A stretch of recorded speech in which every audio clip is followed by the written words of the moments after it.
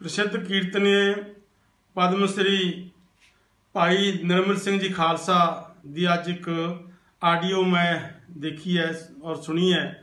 ਉਹਦੇ ਵਿੱਚ ਬਹੁਤ ਬੜਾ ਦੁੱਖ ਹੋਇਆ ਜਿਹਦੇ ਵਿੱਚ ਉਹ ਬੜਾ ਤਰਲੇ ਲੈ ਰਿਹਾ ਹੈ ਕਿ ਕਹਿ ਰਿਹਾ ਕਿ 4 ਘੰਟੇ ਮੈਨੂੰ ਇੱਥੇ ਬੈਠੇ ਨੂੰ ਹੋ ਗਏ ਔਰ ਪਏ ਨੂੰ ਬੈੱਡ ਤੇ ਹੋ ਗਏ, ਅਜੇ ਤੱਕ ਕੋਈ ਮੈਨੂੰ ਦਵਾਈ ਨਹੀਂ ਦਿੱਤੀ ਗਈ, ਮੇਰਾ ਕੋਈ ਪਤਾ ਲੈਣ ਨਹੀਂ ਆਇਆ।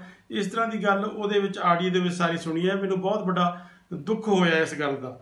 ਕਿ ਸਰਕਾਰ ਨੂੰ ਖਾਸ ਤੌਰ ਤੇ ਇਹਨਾਂ ਗੱਲਾਂ ਵੱਲ ਧਿਆਨ ਵੀ ਦੇਣਾ ਚਾਹੀਦਾ ਹੈ ਕਿ ਅੱਜ ਇੱਕ ਹੋਰ ਜਿਹੜੇ ਉਹਨਾਂ ਦੇ ਸਹਾਇਕ ਰਾਗੀ ਸਨ, ਭਾਈ ਦਰਸ਼ਨ ਸਿੰਘ ਜੀ, ਜਿਹੜੇ ਵੀ ਜਿਹੜੇ ਇਲਾਜ ਨੇ ਔਰ ਉਹਨਾਂ ਦੇ ਕੁੜਮ ਸੁਖਵਿੰਦਰ ਸਿੰਘ ਜੀ ਝਬਾਲ, ਉਹਨਾਂ ਦਾ ਮੈਨੂੰ ਟੈਲੀਫੋਨ ਆਇਆ ਸੀ ਕਿ ਉਹਨਾਂ ਦੀ ਕੋਈ ਦੇਖ ਰੇਖ ਨਹੀਂ ਹੋਈ, ਹੋ ਰਹੀ ਨਾ ਕੋਈ ਦਵਾਈ ਦਿੱਤੀ ਜਾ ਰਹੀ ਹੈ, ਨਾ ਚੰਗੀ ਤਰ੍ਹਾਂ ਉਹਨਾਂ ਦਾ ਟ੍ਰੀਟਮੈਂਟ ਕੀਤਾ ਜਾ ਰਿਹਾ ਹੈ।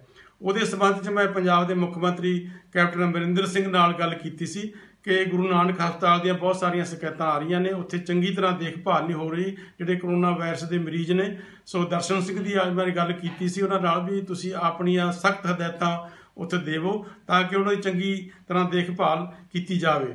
ਇਸੇ ਤਰ੍ਹਾਂ ਸ਼੍ਰੋਮਣੀ ਗੁਰਦੁਆਰਾ ਪ੍ਰਬੰਧਕ ਕਮੇਟੀ ਵੱਲੋਂ ਹਰ ਸਹਿਯੋਗ ਜਿਹੜਾ ਹੈਗਾ, ਉਹ ਸਰਕਾਰ ਨੂੰ ਦਿੱਤਾ ਜਾ ਰਿਹਾ ਹੈ। ਸਾਡਾ ਸ੍ਰੀ ਗੁਰੂ ਰਾਮਦਾਸ ਹਸਪਤਾਲ ਜਿਹੜਾ ਹੈਗਾ, ਉਹਦੇ ਵਿੱਚ 300 ਬੈੱਡ ਜਿਹੜੇ ਨੇ ਅਸੀਂ ਰਿਜ਼ਰਵ ਰੱਖੇ ਨੇ ਪੂਰੇ।